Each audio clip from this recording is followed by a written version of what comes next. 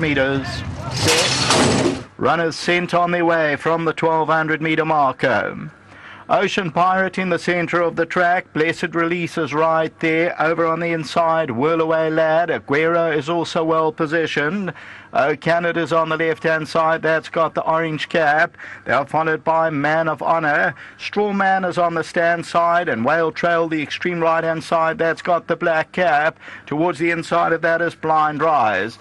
They're sticking right across the track now, and Blessed Release in the grey, just about the leader from Aguero. Whirl Away Lad is over on the inside. Oh, Canada is there. Strawman, Whale Trail, Ocean Pirate, and Man of Honour's in the orange also trying to get into the race with Green door.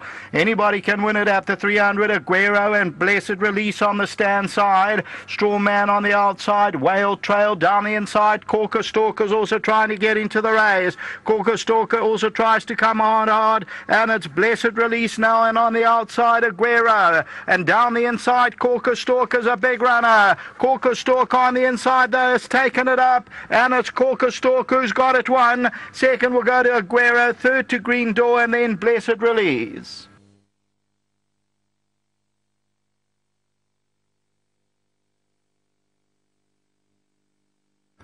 So victory for number one Corker Stalker, chance ride for Anthony.